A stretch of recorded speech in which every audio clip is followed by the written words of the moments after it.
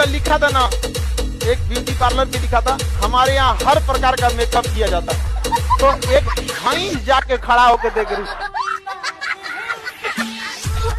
लड़की पटाने का एक सबसे आसान तरीका। पैसे कमाओ भाई। तीन जगह जाओ। मंदिर जाओ साधना करने जिम जाओ शरीर बनाने और लाइब्रेरी जाओ पढ़ने। बाकी समय किसी को मत दो।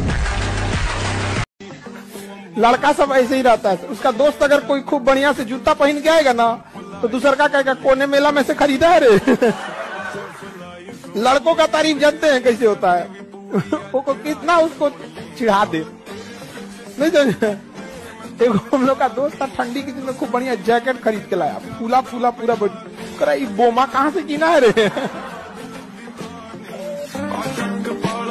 पहला रूममेट जो था ना, वो साउथ बॉम्बे का। उसका नाम था राघव। हॉस्टल का पहला दिन कोई नहीं भूलता। पहला दिन और पहली रात। मेरे को पूरी विविडली याद है, मैं रूम में घुसा, वो अंदर वो पूरा शर्ट शर्ट पहना था, कान में हेडफोन लगाया था। वो गाने भी अंग्रेज़ी अंग्रेज़ी सुन रहा था। We don't talk any more we don't talk any more है ना? तो मेरे को समझ में आ गया, इससे तो मेरी नहीं हो पाएगी, नहीं बन पाएगी।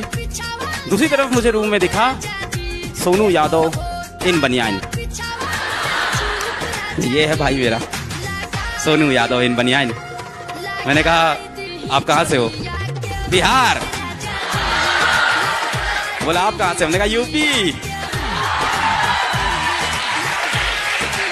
वो बोला लिट्टी चौका हम बोले लिट्टी चौका